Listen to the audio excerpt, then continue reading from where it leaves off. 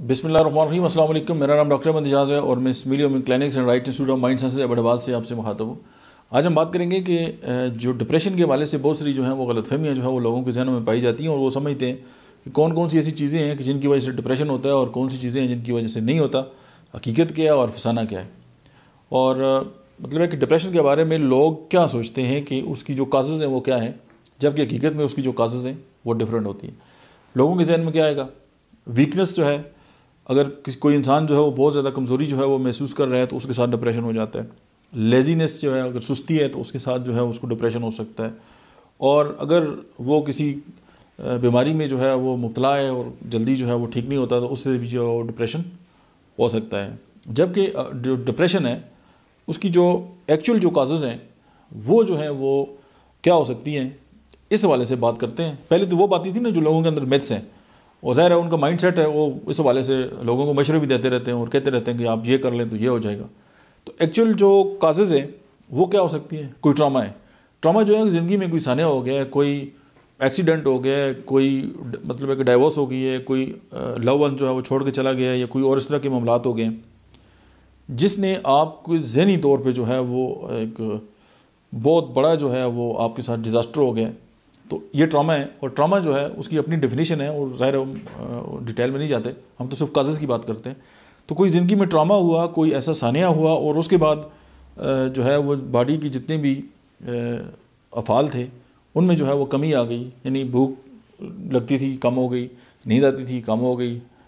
मतलब जो बाकी बॉडी की जो डिज़ायर थी वो सारी कम हो गई। तो ये सारी जब चीज़ें डिप्रेस होने स्टार्ट हो गई हैं तो फिर हम ये कहते हैं कि ये डिप्रेशन हो गया। अब आपने ये भी सुना होगा जी कि जो स्टॉक मार्केट है उसमें डिप्रेशन चल रहा है।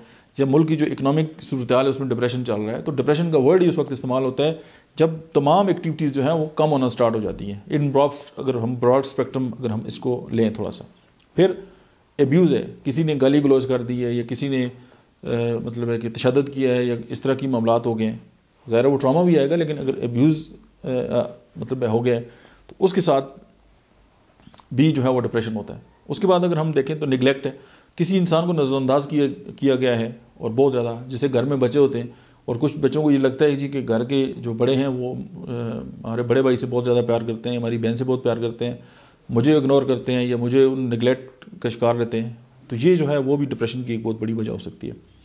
फिर बोलेंगे जैसे मतलब कि कॉलेज में गया, उसके साथ कोई फूलिंग हो गई या इस तरह की जो है तजी का महज जो है, वो रवैया जो है, अख्तियार किया गया तो उसके साथ भी है डिप्रेशन हो जाता है। उसके बाद कुछ जो केमिकल्स हैं, अगर उनके अंदर जो जो बैलेंस है, उनका ख़राब हो जाए, वो इम्बैलेंस अगर हो जाए तो भी डिप्रेशन होता है, जैसे डोपामीन है सिरोटनिन है, या इस तरह की और चंद केमिकल्स हैं। उसके बाद ग्रीफ है, कोई बहुत गम मिल गया, कोई लव की डेथ हो गई है, या उसके साथ कोई लॉस हो गया तो उसके साथ भी जो है, वो डिप्रेशन हो सकता है। उसके बाद ये है कि बहुत सारे जो हैं वो लाइफ स्टाइल जो है वो फैक्टर्स ऐसे हैं जिनके साथ जो है वो डिप्रेशन हो सकता है। फिर किसी का जो बॉडी इमेज जो इश्यूज़ हैं वो हैं। अगर कोई बहुत बंदा मोटा है, लोग उस पर आवाज़ें कसते हैं या किसी की शक्ल तो अल्लाह ने बहुत ही खूबसूरत बनाई होती है सबकी, लेकिन उसको लगता है कि ऐसा है। तो अब इससे भी इंसान डिप्रेशन में शिकार हो जाता है। फिर कुछ लोग ऐसे होते हैं कि हर काम को परफेक्शन परफेक्शनिज्म के जो है वो शिकार रहते हैं। और वो कहते हैं कि हर काम जो है वो परफेक्ट हो, यानी उसमें कोई भी गलती ना हो। और अगर ऐसा हो जाता है तो फिर वो कुड़ते ही रहते हैं और फिर ज़ाहिर वो डिप्रेशन में जो है वो चले जाते हैं। उसके बाद ये कि लो सेल्फ इस्टीम यानी जो अपनी रिस्पेक्ट है, जो खुद तो कीरी है, उसमें उनको लगता है कि उनकी जो सेल्फ रिस्पेक्ट है वो कम है और वो इसी एहसास के साथ जो है वो ज़िंदगी गुजारते हैं, और डिप्रेशन का शिकार हो जाते हैं। और ओवर वर्किंग यानी कुछ लोग हैं कि बहुत ज़्यादा काम करते करते करते करते फिर अल्टीमेटली यही है कि वो डिप्रेशन में चले जाते हैं, जब डिज़ायर रिज़ल्ट उनको नहीं मिलते। और फिर ये कि एक्सेस स्ट्रेस अब जब बहुत ज़्यादा स्ट्रेस हद से बढ़ता है तो फिर वो भी आगे चल के जो है वो मरीज़ को जो है वो किसी भी इंसान को जो है वो डिप्रेशन में लेके जा सकता है। और फिर कुछ लोग ऐसे होते हैं कि जो बड़ी मेहनत के साथ किसी करियर को चुनते हैं और उसके लिए जो जान की बाजी लगा देते हैं और जब उनको डिज़ायर रिज़ल्ट नहीं मिलते या उस करियर में वो नहीं पहुँच सकते कोई मतलब कोई बंदा आर्मी में जाना चाहता था, नहीं उसकी सिलेक्शन हो सकी, या कोई सीएसएस करना चाहता था, नहीं उसकी सिलेक्शन हो सकी या वो ज़िंदगी में कोई और मकाम हासिल करना चाहता था नहीं हासिल कर सका। तो उसके बाद नतीजे के तौर पे वो वही समझ दे कि यही मेरी लाइफ है और वो डिप्रेशन में चला जाता है। लेकिन मैं यहाँ उन लोगों को एक मैसेज देना चाहूँगा कि career is not a life career ज़िंदगी नहीं है। ज़िंदगी में कैरियर होता है कैरियर में ज़िंदगी नहीं होती। तो अगर आपके साथ ऐसा है तो इस मेरे चैनल फाज एंड पे गौर कीजिएगा। और फिर ये है कि कुछ जेनेटिकल फैक्टर्स होते हैं फैमिली के अंदर भी। इस तरह के मामला होते हैं कि वो डिप्रेशन जो है, वो चल रहा होता है। फिर ये है कि अगर लैक ऑफ़ फुलफिलमेंट यानी कि आप किसी की तो जो हैं, आपको लगता है कि आपको पूरी करनी चाहिए और आप उस पर पूरा जो है, वो नहीं उतरते तो फिर ये कि आप डिप्रेशन में जो है, वो चले जाते हैं या जा सकते हैं या जो लोग भी ऐसा करते हैं। तो ये जो बातें थी डिप्रेशन जो है, इन, ये जो काजेज़ हैं, वो डिप्रेशन की हैं।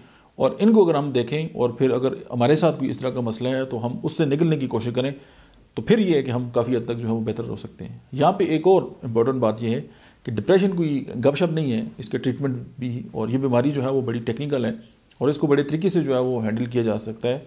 लेकिन उसके लिए आपकी फैमिली आपके फ्रेंड्स और आपकी ट्रीटमेंट होम्योपैथी और ये सारा मिल के जो है वो आपको यहाँ से बाहर जो है वो लेके आ सकता है। लेकिन ये है कि ये काबिल इलाज है और आप बिल्कुल इससे बाहर आ सकते हैं। और ज़िंदगी की जो सबसे खूबसूरती है, वो ज़िंदा होना है। तो अगर आप अभी समझें कि यार मैं डिप्रेशन का शिकार हूँ या स्ट्रेस में हूँ और मैं जो है वो अपनी ज़िंदगी जो है उससे नाखुश हूँ तो आप चंद लम्हों के लिए अपनी सांस रोकें। आपको लग पता जाएगा कि आपकी बॉडी आपको ये कहेगी कि मतलब है कि जो भी है भाड़ में जाए, मुझे ज़िंदा रहना है।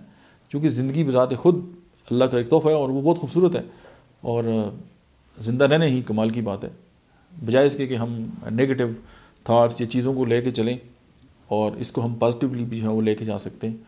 और स्पेशली कुछ लोग ऐसे होते हैं कि जो ये समझते हैं कि यार हमारी ज़िंदगी में कुछ शख्सियत या कोई ऐसी पर्सनैलिटीज़ थी अगर वो नहीं है और मैं तो मेरा ज़िंदगी में रहने का कोई फ़ायदा नहीं है तो एक बड़ा खूबसूरत शहर है जिसने मुझे भी बड़ा आ, मतलब है कि काफ़ी इंस्पायर किया। तो कहते हैं कि जुदा हुए हैं बहुत एक तुम भी सही। अब इस बात पे क्या ज़िंदगी हराम करें? तो सिंपल ये है कि ज़िंदगी जो है वो आगे बढ़ने का नाम है, आगे चलने का नाम है।